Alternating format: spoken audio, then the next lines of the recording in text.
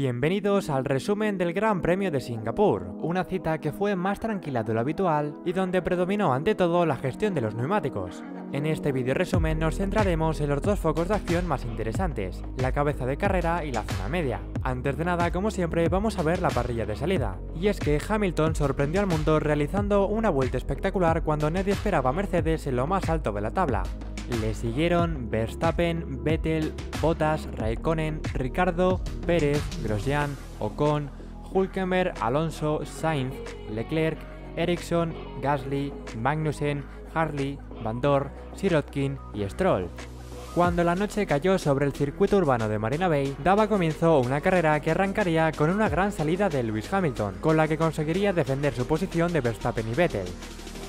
Por detrás, Alonso y Sainz, que eran los primeros que montaban el neumático ultra blando, salieron mejor que Nico Hulkenberg, al cual pasarían en la primera curva. Justo por delante de ellos, los dos Force India volvieron a colisionar como antaño, y Esteban Ocon acabaría impactando contra el muro tras un leve contacto con su compañero, acabando de esta manera su carrera, y anticipando la que sería la debacle de Force India en la noche de Singapur. Por delante, Vettel fue capaz de sobrepasar a Max Verstappen instantes antes de que el coche de seguridad fuese lanzado a la pista para que los comisarios recogieran el coche de Ocon. Tras el relanzamiento, Hamilton comandaría el grupo con una clara estrategia de gestión de gomas, hecho que ralentizó bastante a la cabeza de carrera, que rodaría mucho más lenta de lo normal para estirar al máximo los neumáticos hiperblandos. En estos instantes iniciales, Hamilton, Vettel y Verstappen estaban en zona de DRS, aunque ninguno de estos atacaría debido al riesgo que tienen aquí las maniobras de adelantamiento. Justo a la vuelta número 13, el británico desactivó el control de crucero de su monoplaza y comenzó a subir considerablemente el ritmo de carrera, distanciándose de esta manera de sus perseguidores más inmediatos.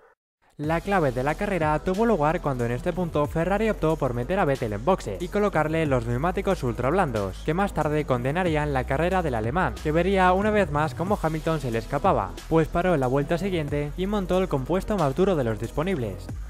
Para colmo, y tras el grave error estratégico de Ferrari, Vettel salió justo detrás de Checo Pérez, el cual realizó un tapón que provocaría que Verstappen tras su parada saliera rueda a rueda con el de Ferrari para finalmente hacerse con el segundo puesto de Vettel, que ahora tendría que resignarse a conservar neumáticos para evitar una catastrófica segunda parada. A partir de este momento y a falta de un milagro, Hamilton ya era el ganador del Gran Premio de Singapur, y sobre todo aún más líder del Mundial. En el grupo medio, mientras tanto, Alonso y Sainz copaban las posiciones de privilegio justo por detrás de los seis grandes, estos, que habían salido con el neumático ultra blando, estaban alargando al máximo su parada gracias a unos tiempos muy competitivos y constantes, pero sobre todo gracias al aire limpio del que disfrutaban. Por el contrario, sus rivales más directos, Pérez, Grosjean y Hulkenberg, habían montado las gomas amarillas tras deshacerse del hiperblando. Y poco a poco y uno detrás de otro, este grupo de tres se acabaría encontrando con Sirotkin, piloto que sería causante de un tapón que arruinaría la carrera de estos tres pilotos que clasificaron en el top 10. Con la treintena de vueltas ya alcanzadas, los españoles transformaron sus puestos virtuales en reales, pues el grupo de Pérez, que seguía taponado por el Williams, estaba a la distancia suficiente como para hacer una parada gratis. Y así sucedería. El de McLaren y el de Renault efectuarían sus paradas en la vuelta 39 sin preocupación alguna, y a falta de unas 20 vueltas para el final, solo tenían que llevar el monoplaza hasta la línea de meta. Mientras todo esto sucedía, destaca el incidente entre Pérez y Sirotkin por el que el mexicano sería sancionado con un drive-thru por causar una colisión con el ruso cuando este intentaba rebasarle.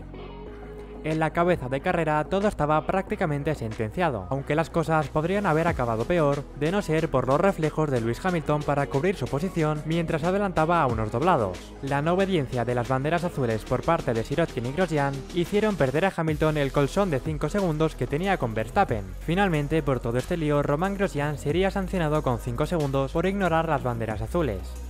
A pesar de todo esto y tras un trenecito de botas en las últimas vueltas, la agridulce carrera del Gran Premio de Singapur no tuvo más momentos a destacar.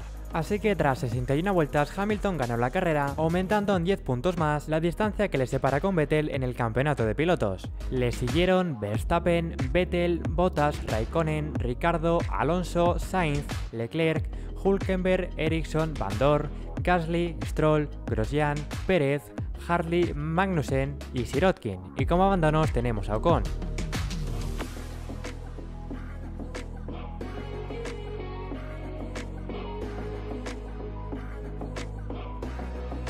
Y con esto damos por finalizado el resumen del Gran Premio de Singapur. Como siempre, no os olvidéis de seguir a motor.es en todas las redes sociales y de estar suscritos a nuestro canal de YouTube. Mi nombre es David Moreno y nos vemos en próximos vídeos. ¡Hasta luego!